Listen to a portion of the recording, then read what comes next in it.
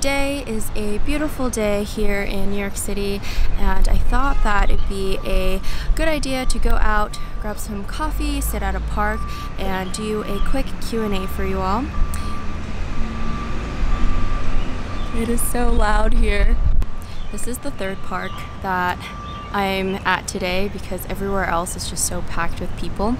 So I got a bunch of questions and comments for my work week in a life as a data scientist video. So thank you all so much for showing it so much love. And I went through and read every single comment and I picked um, a couple questions that I wanted to answer. Just a quick disclaimer, I don't think that this channel will grow to be like a data science channel. So I apologize for all of um, you guys who requested more like in-depth data science videos, like coding videos, tutorial videos, lesson videos. That's just not something that I'm comfortable posting on YouTube, nor do I feel qualified to, and that's just not where I want my channel to grow. So the first question is, what is your academic background? I went to a four-year college here in New York, um, and I studied computer science with a minor in economics. The second question is, how did I get into data science? Coming into freshman year as a CS major, I thought that I was going to build like iOS apps for a living. Yeah, I can build apps and I'm gonna get rich like right away, but that really wasn't the case. That freshman year summer, I actually had two different like part-time unpaid internships. One doing mobile development, so I worked in like React Native and built for both iOS and Android.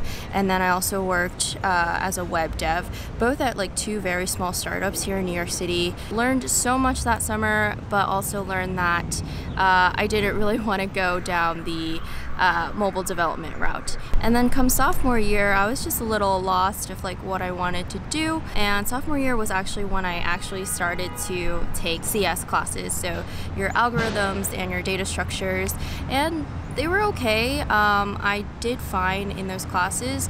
It just never like really clicked well with me. I felt like I was pretty mediocre. And so uh, sophomore year, I actually went to a CS mixer at my school where we get to talk to faculty and they get to present their research.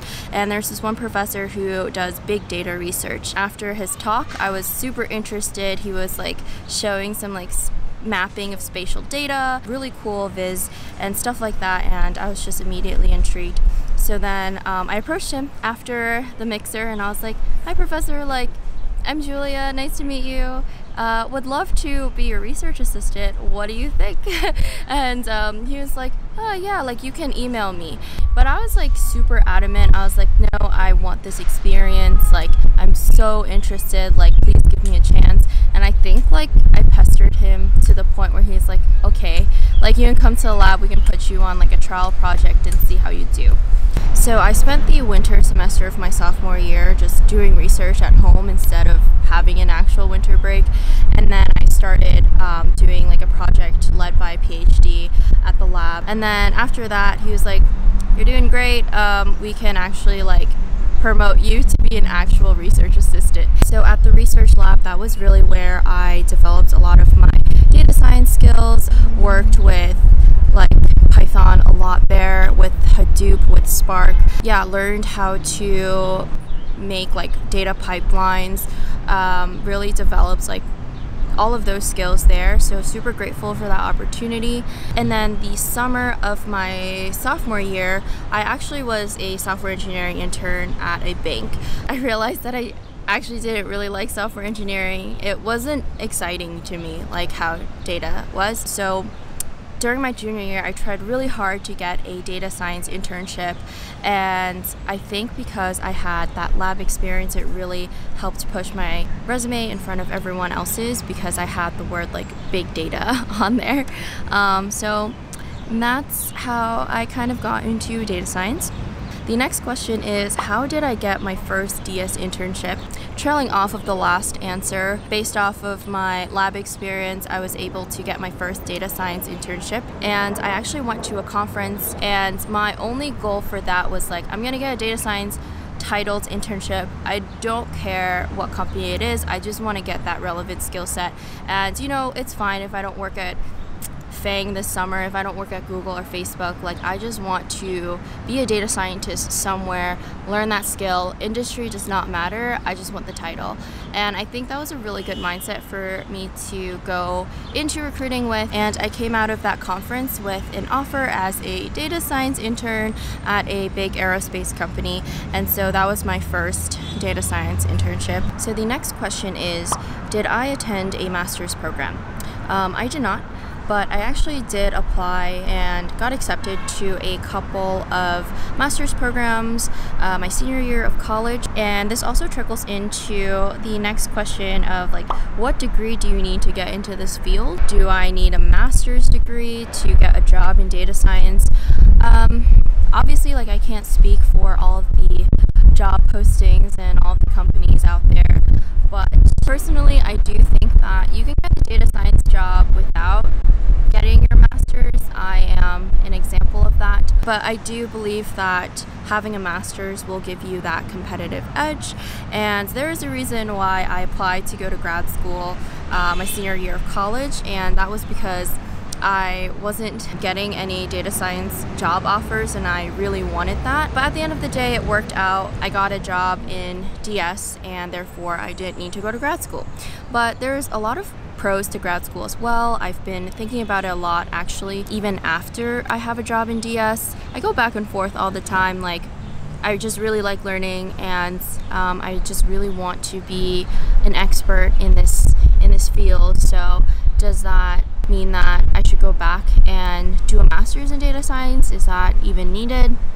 I'm not sure, but um, just weigh what opportunities you have on hand if you really want to be a data scientist and you're not getting any interviews or you're not getting any jobs, um, then I would say consider getting a master's. Um, it can never hurt. So. So these are a little bit more random questions. So the first one is, can people join my like TA sessions or the course that I'm teaching or my office hours? And the answer is sadly no, unless you are enrolled in that university and enrolled in that course you guys cannot come to my office hours, although I'd love to host you all and answer all of your questions. And then I also got a lot of questions on how I stay productive, and um, I made a video about that actually. I'll link that, I guess, in the cards up above. I go through kind of like what motivates me to do things, how I stay organized, all of that good stuff. So I won't get into that today. And then the last question that I'll address today is how did I get involved in the nonprofit? So I actually didn't know a lot of people were interested in, in the nonprofit work and it actually warms my heart that people like you know appreciate nonprofits and like what they do and show interest in it so the nonprofit is called Send Chinatown Love, and it is a New York-based organization that provides both fast and long-term relief to small Asian-owned businesses here in New York City. So as many of you all know, the pandemic really impacted the restaurant industry. I mean, it impacted everyone, but it specifically at first it impacted the restaurant industry a lot.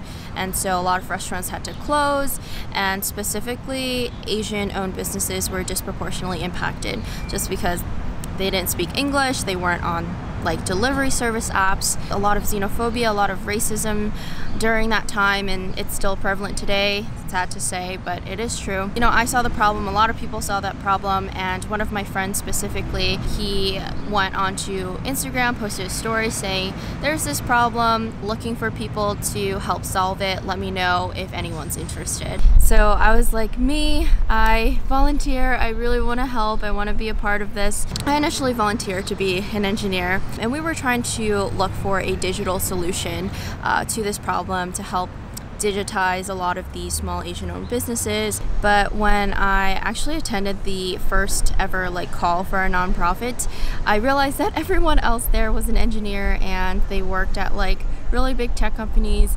We weren't lacking in engineers, but we didn't have anyone to do a lot of like the business side of things to outreach to merchants. So um, at the beginning phases of the nonprofit, I literally wore a lot of hats. I did a lot of different things. I did a lot of partnerships. I did a lot of merchant interviews. Had to speak in both Mandarin and Cantonese but in but in like more of like a professional setting which is something that I haven't done before I launched a lot of things on social media. If you scroll back down to our social media, like the first like 10 posts were terribly constructed by me. Um, and yeah, it was very hectic um, at first, but now I've kind of transitioned to just leading like an overarching team, leading um, business strategy and marketing, and just doing that. So it has been really fun, and it's given me a lot of purpose during these hard times. And I can't imagine like what I would have done for the past year if it wasn't like working on this. And yeah, I'm just getting so sentimental thinking about it because we just reached our one year mark, which is crazy because, you know, we're still here today because the problem exists. Um, but it feels good that I was able to do this during such a tough time and give back to a community that I really care about. I met some freaking amazing people through this, learned a shit ton, and yeah, if you guys are interested in supporting or learning more about the org, I'll definitely link it down below um, in the description box. I just wanted to end this video off with one last comment. Girl, aren't you tired? Yes, girl, I am so tired. I am very tired all the time. I actually don't get a lot of sleep because I just do a lot of things and I stress really easily. I'm not a very pleasant stressor, and I know this about myself through that video. A lot of people think that I'm a workaholic. And yes, I actually am a workaholic, but also keep in mind that, you know, YouTube videos are like week in my work life, those are definitely highlights for sure. Um, sometimes I definitely do skip out on exercising. I actually skip out on it a lot. There are weeks where I'm really motivated to exercise and I do keep that routine up, and there are weeks where I'm just so freaking tired that I can't wake up from my runs or I don't have energy to work out. I have weeks where I'm just so unmotivated to do anything. Like that happens to me too. Please do not just look at my video and think like I'm that productive 100% of the time. Um, but I am going to cut myself some slack and give myself some credit that yes, I do work really hard. Uh, most of the time, I do do most of those things, but there are definitely days where I struggle to do everything and stay productive as well. So that is it for the video today. I apologize if the audio is not that great because New York City is very noisy and I made a bad decision today just filming outside. Uh, but yeah, thank you all so much for leaving such great questions and showing my videos a lot of love. Uh, yeah, I'll see you all next time.